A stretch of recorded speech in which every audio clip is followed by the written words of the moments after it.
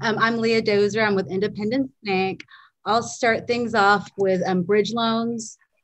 Um, in today's fast-paced market, it is important to have the most appealing offer on the table. The ability to purchase a home without contingency can really help you win in a bidding war.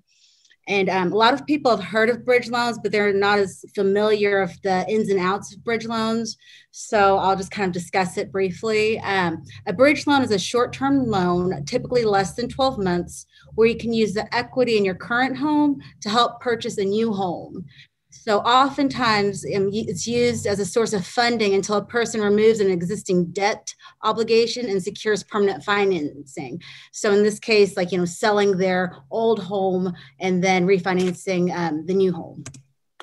And um, this is an example scenario. Um, let's just say you have a client who owns a property valued at 350,000 um, their current loan on the property is um, 175,000, and they um, purchase a property with a contract price of 450,000.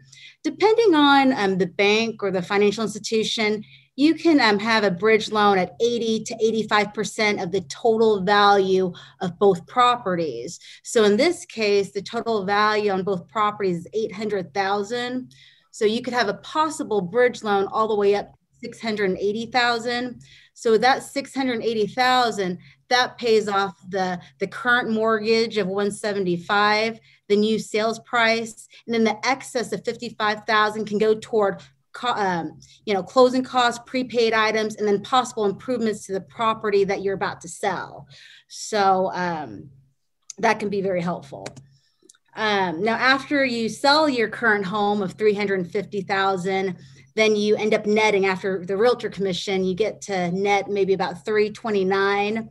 Then you'll subtract your um, 329 from the current bridge loan amount of 680 so that that'll leave you a balance of about 351,000 that can be refinanced into permanent financing. And so the next slide is kind of just like a visual of how that looks. Um, so existing property plus new property, total amount then sell existing property, then your final property. Um, there's some advantages of having a bridge loan. It's interest only payment, so it can keep your monthly payment manageable. Um, you're using the current home to help purchase a new home, so you can possibly take um, up to 85% cumulative loan to value. Um, possible less stress since you can have both homes at the same time. So you've got that ability to make improvements on the new home, such as new paint, new flooring, updates that need to be done before moving in. And then you get to move into the new home, then stage the old home to sell. So just having that that flexibility can be to your advantage and make things a little bit less stressful. Um, but there are also disadvantages. Um, the disadvantage with a bridge loan is a short term loan. So after the 12 months or what have you, you need to refinance it into permanent financing. Um, bridge loan rates are typically higher than the current uh, market's conventional rates. Um, you know, conventional rates can yield anywhere from 2%, 3%. Bridge loan rates are typically about 4% to maybe 5%. Um, the closing costs tend to be higher. You're you're typically paying you know one percent origination. Um, there's no escrowing, so you have to be responsible to pay your taxes and insurance um, every month. Um, and this is something that has happened before in this environment. I don't know so much. I feel like all the values are, are pretty high, but I've seen it before where the value of the home could possibly decrease by the time that you're ready for your permanent financing um, about five years ago that happened to one of my clients and they actually had to bring money to the table to pay down their their loan. So um, hopefully knock on wood in this environment that wouldn't be the case. Um, and then also the fixed mortgage rates may be higher by the time you're ready for permanent financing. So those are some of the disadvantages. Um, you know bridge loans may not be perfect for everyone, but depending on the situation, it could be a possible way to get a person into the house um, with less stress.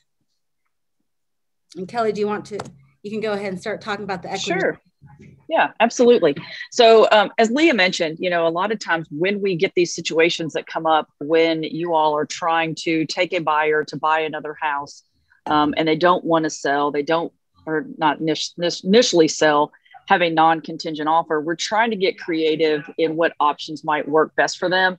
Um, each one of these options that we're talking about might fit one client better than the other. So, um, you know, to say one is better than the other initially, um, you know, for you all to kind of tell your client, hey, get a bridge loan or hey, do this or hey, do that, um, it may not be smart until we kind of sit down and look at what their financial needs are and then figure out from there, you know, again, what fits that client in particular. So, so another option that we um, see happen uh, frequently is just using the equity that they have in their current home um, and doing an equity line. Um, you know, one of the things that you'll see at the end of my slide, I mean, this gets a little difficult. Sometimes banks maybe don't necessarily want to uh, lend on a home when they know it's getting ready to go on the market. So you kind of have to, I mean, if you have time to do it um, well in advance of when they want to put their house on the market, that definitely helps. Um, so here's kind of what happens with the equity lines. Um, most of, and it varies by banking institution, most banking institutions are at about 80% loan to value um, with what they currently owe and what we want to do as far as an equity line. Um, there are some banks that will go up to 100%. I mean, I'm not highly suggesting that at all because obviously you've got a commission percent to come out of there. You've got some tax prorations, you've got some tax stamps, et cetera. So when I'm talking to a client, I'm suggesting that they don't go anything more than about 90% so that they have um, plenty of money when they sell their house and they're not bringing money to closing. Uh, kind of what Leah mentioned a while ago in terms of a bridge loan, if a house goes down in value, you know, we don't really want to have, and you don't want, you know, a seller to have to bring that money to closing. So next slide, Leah. Okay. Um, so with an equity line, okay, so Leah mentioned, you know, a bridge loan might have some additional cost. Um, the equity line has a low cost to obtain it. Um, some banks will charge something up front, some banks won't. Um, and what you have is you have a situation where most equity lines come with a three year ter- early termination penalty. Call it a prepayment penalty, whatever you want to say. But it's really for them to recover their cost because they're going to do an appraisal, they're going to do a title search, they're going to have processing and underwriting. And sometimes they may not charge the customer a penny up front. Well, if that person pays that equity line off in two to three months, they need to recoup those costs. So, you know, I just basically, when I'm educating my consumers and buyers, I'm just basically saying those are your costs. Whether you pay them up front or you pay them later, there's still something that have you're going to have to incur. Um, much like the bridge loan, these will typically have the interest only payment attached to them. Um, there are some where you can get it with pay a little principal, but honestly, there's no need to do that when you're just trying to um, use this short term to um, get you, bridge you, etc., to the new home. Um, now, qualifying wise, I think where the bridge loan, where Leah, her option would be, you know, you're got an interest only payment on both loans or one loan that's $600,000, um, that payment's going to be probably low. In this case, what we've got is we they may have a mortgage on their existing home. We got to count that. The new mortgage on the new home, we've got to count that. And then we have to count a payment on this equity line to get them into the next house. So some um, buyers are maybe not as financially um, sound to be able to do this, and a bridge loan might be the best option for them. So um, and with this, with an equity line, we can be in a first or second lien position. Um, I've got a client right now who called the other day. He owes thirty thousand dollars on his first mortgage. He says, "I want to do a line for 150. I want to pay off that 30, so then I have 120 left to go play with when it's time for me to buy my next house." So in that case, um, that makes sense because he can get rid of um, a larger payment on that thirty thousand dollars and have a smaller payment on the 30,000 equity piece until such time as he needs it to buy the next house. So next slide, Leah. Um, so the thing with an ex- equity line is if they don't get it set up early initially, maybe before they put the house on the market, you what you may have because this is a refinance, you may have a little bit longer time to wait. Plus, they have a three day right to cancel on any type of a refinance. So we kind of have to plan that out when we know uh, what needs to happen if we're trying to do it back to back with the purchase we can't do it back to back because we have to have that three day waiting period so that um, could be a deterrent um, and again as i mentioned early on some banks won't lend if they know the house is going to go on the market soon um, you know, in this market right now, if you have um, sellers who think they're going to put their house on the market in the next four to six months, if this is an option for them, I would suggest that they go ahead and get it set up now. Um, and then always, you know, they need to check with their CPAs. Um, first mortgages, purchase money is typically tax deductible with the mortgage interest. Um, but the equity lines a couple years ago when they changed the tax laws, that changed a little bit. So they definitely need to check with their CPA um, about the mortgage deductions. So, okay, um, an option that I see happen um, a lot um, is what's called a recast.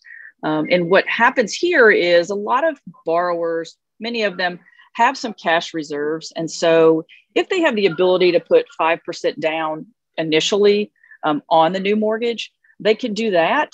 And then once their house sells, we can do what's called this recast, which they can take their proceeds from the sale of their home, apply it down on the new um, home, the new loan, and then what we can do is redo a payment based on that new principal balance. So, for example, let's just say we start with a $2,000 payment.